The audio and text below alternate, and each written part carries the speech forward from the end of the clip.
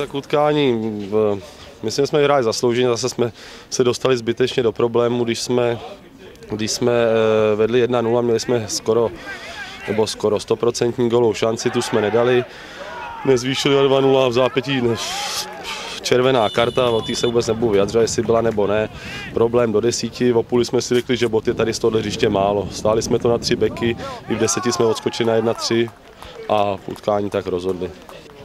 Tak soupeř byl lepší, fotbalovější a přesně se ukázalo, v čem jsou naše slabiny. Zaslouženě vyhráli soupeř, no, tam se ukázalo jenom šance, jsme vyrovnali jedna jedna, soupeř v deseti, ale v deseti proti nás nám dokázali dát dvě branky, takže si myslím, že zaslouženě jsme prohráli. Takže utkání se mi hodnotí samozřejmě dobře, protože jsme vyhráli. Takže spokojenost. 4-1 výsledek mluví za vše. Myslím si, že měli jsme na to, aby jsme uhráli o dost lepší výsledek. Neříkám, že to třeba bylo na výhru dneska. Dost to ovlivnili ty karty. Myslím si, že ta druhá půle byla poměrně dost nezvládnutá ze strany rozhodčích, ale tak samozřejmě za to můžou reakce hráčů obou týmů. Zápas jako každý jiný. Samozřejmě už v tomu fotbalu moc nenahrávají ty umělky, tady je trošku menší, už starší, takže se vědělo, že to bude hodně soubojový. Na traj by to byl třeba možná zajímavější fotbal a ne tak vyhrocený. Tak určitě nějaký speciální náboj to mělo.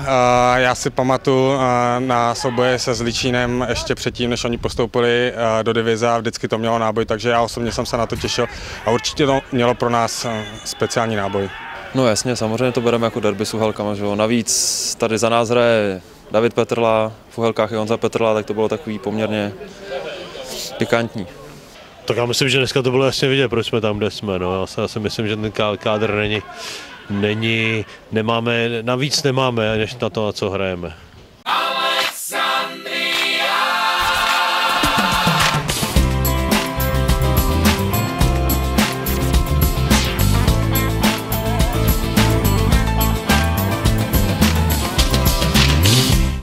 Hrajeme po každý v sestavě. Buď tam máme karetní tresty, nebo máme pracovní neschopnost, nebo máme, máme zraněný. V podstatě jsme ještě nikdy nehráli v kompletní sestavě. A přišlo hodně nových hráčů, až si to trošku sedne, tak eh, ten cíl se samozřejmě nemění. Sezóna je dlouhá a já myslím, že ještě, ještě to můžeme zamíchat. Tak primárně jsme mysleli, jakoby, že to budeme poměrně my zvládat líp, ale bohužel se opět potýkáme s nějakým jakoby, nedostatkem hráčů.